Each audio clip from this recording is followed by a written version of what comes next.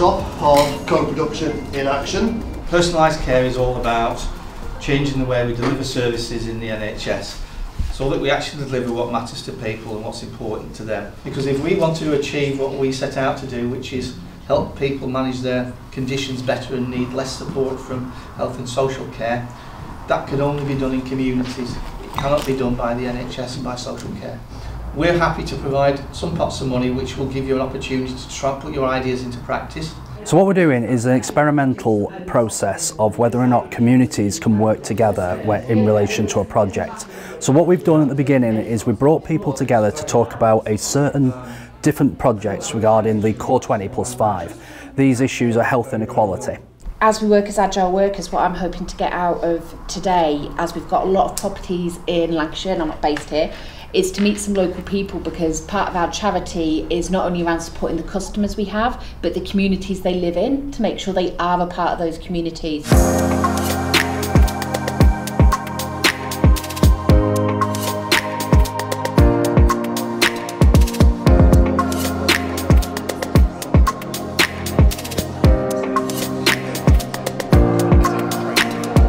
Our purpose today is to get those projects ready for, for bid writing essentially? I think it's, it's quite, um, it's exciting, it's new, it's different uh, and I'm glad to be part of it. I think coming together with the NHS and, and you know them delivering this service to the local community in the voluntary sector, I think it's going to work great and I'm really excited to be involved. Well, we're planning on delivering 12 week like a transformation programme, but there is a twist. So we wish to offer different activities, so physical, online, um, as well as face-to-face, -face, and improving your mindset, um, becoming fitter, stronger, more confident, more resilient. So we're offering different sessions within the week for a 12-week period. So our mission statement is empower females to create a stronger mindset through physical activity and various different sessions. Thank you very much. As a pilot, it starts off as a short-term piece of work that you're looking at and that's about collecting your evidence, making sure you can prove that this is a really, really good piece of work. It's when you move into the next stage when you go, right, this pilot's been absolutely amazing. People's health and well-being are improving. How do we move forward from that and how do we get into the next stage? It's, it's a culture change for the NHS. It's about doing things in a different way that moves us from, I suppose, fixing people to having a shared responsibility that helps people look after their own health and well-being.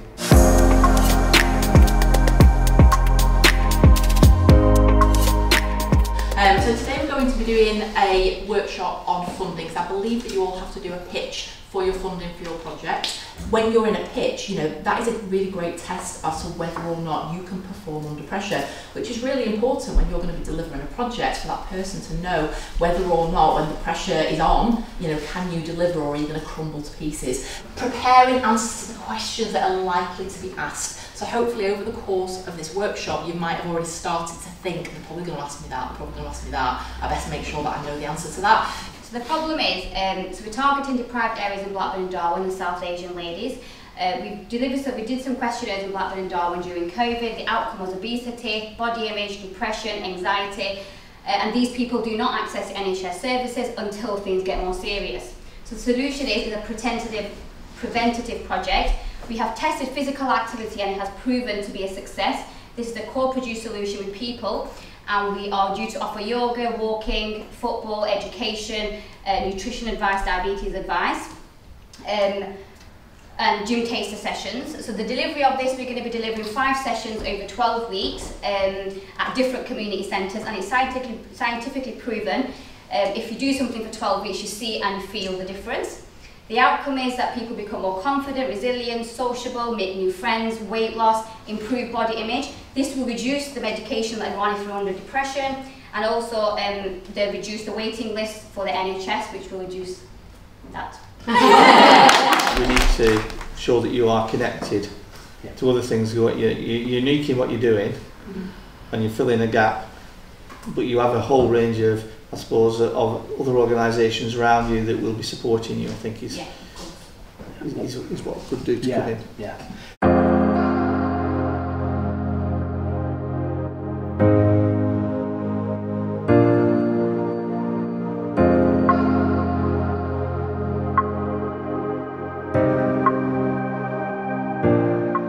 But what we want to do is involve you in designing what works for the people that you work with on a day-to-day -day basis. What's great about the projects that we've got is that because of the position that people are in communities and their um, ability to work with people with lived experience, is that what we're seeing today is an element of how they can co-produce better on that individual outcome, but also really start to think about how we co-produce strategy and policy better so that, that when we, we design services as a whole, um, that they better meet the needs of the people and the communities that we're trying to um, serve.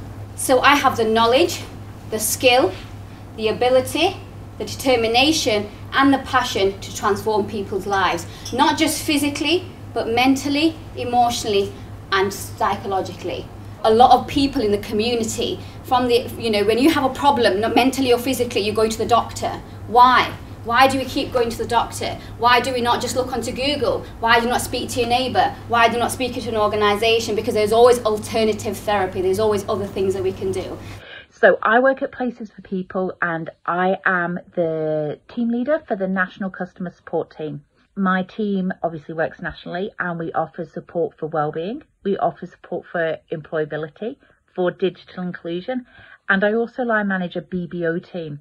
And what's really exciting about those guys is they are all working really hard in Lancashire and are really focused on the Blackburn area at the minute.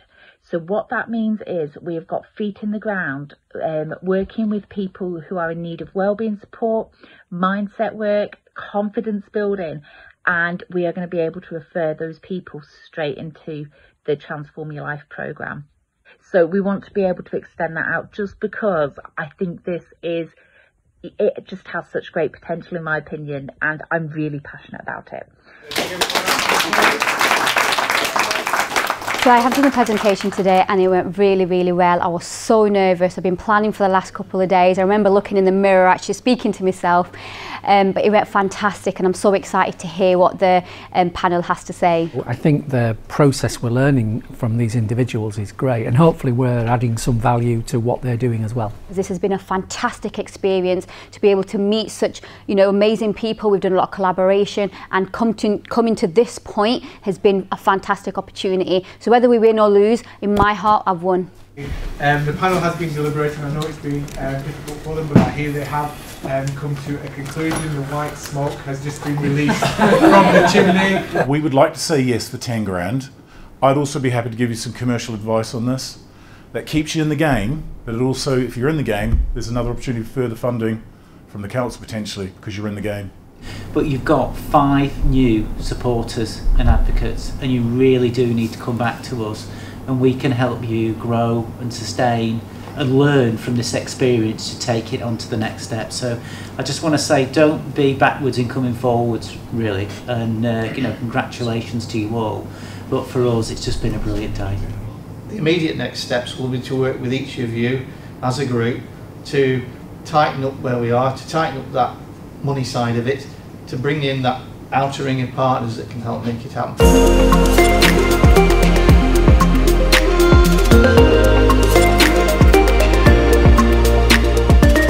This is a preventative project to really help the NHS reduce the queues and support people in the community around education, around menopause, obesity, long-term health conditions and what they can do to help themselves. So we have decided to offer a 12 week transformation program, which involves education sessions, physical sessions, mental well-being and meditation. We have successfully delivered four workshops around menopause and that was thoroughly, all the women were thoroughly impressed. We had Julie, our instructor, who is also going through menopause and has done massive amount of research through the research at UCLan University and and how the education around this has helped people sort of understand a little bit more about menopause. We are currently delivering a six weeks chair yoga as well as nutrition advice at Bangor Street Community Centre. This has been fully booked. We've had 20 people booked on both sessions and we are thoroughly impressed with the amount of people that are wanting to attend our classes. One of the advantages that we have as an organisation is we are multilingual. So um, we are translating all the sessions for in Urdu and Gujarati for everybody to participate and understand the sessions. The feedback has been phenomenal. Women have made we're all women from different backgrounds have come along they've made friends and they love this social activity that we have going in the community this has really helped women's well-being the ones that are isolated the ones that are vulnerable and especially after lockdown it's been very hard for people so this has given them an opportunity we have offered these for free However, in the future, we may have to charge a small nominal fee due to sustaining the projects. Because after phase one, we are looking at phase two, which is recruiting the volunteers. We will then upskill our volunteers on our volunteering program and hopefully they can then run these sessions to sustain the project going forward. We would just like to say thank you so much for the NHS and Places for People for giving this an opportunity to be able to deliver a fantastic service within the community.